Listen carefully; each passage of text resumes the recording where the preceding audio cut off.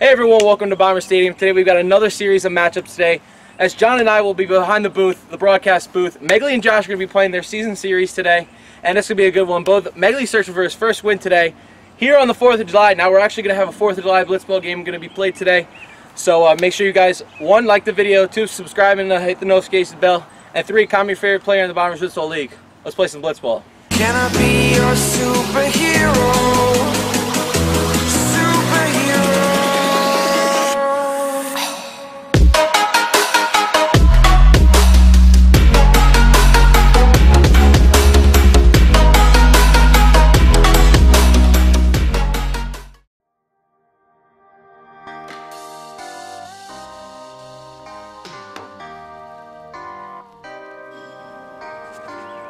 Strike one.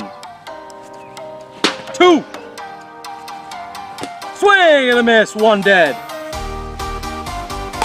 Foul. Pitch. Swing and a miss for strike two. Swing and a miss, that's the end of the inning. We're going to the bottom of the first. Zeros on the board.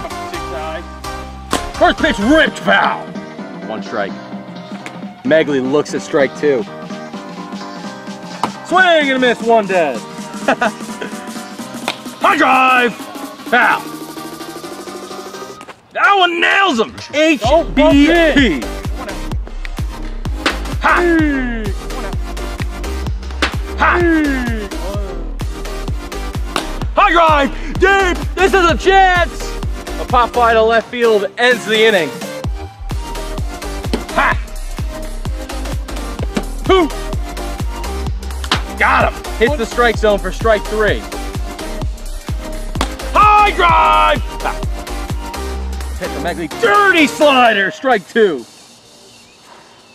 Got him! End of the inning. Bat flip on a strikeout. As Megly gets his fourth strikeout of the game, we're going to the bottom of the second, 0-0.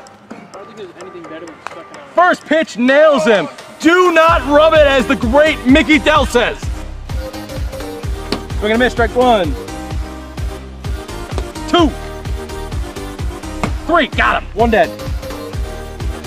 I got him! Damn it! Megly strikes!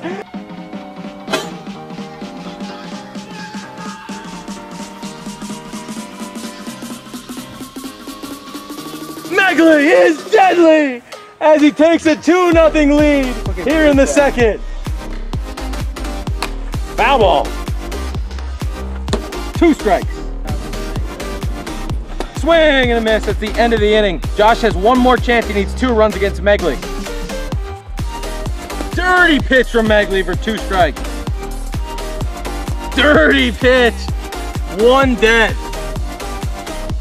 I drive! Center it's out of here! Megly loses the perfect, perfect game, and it's two to one.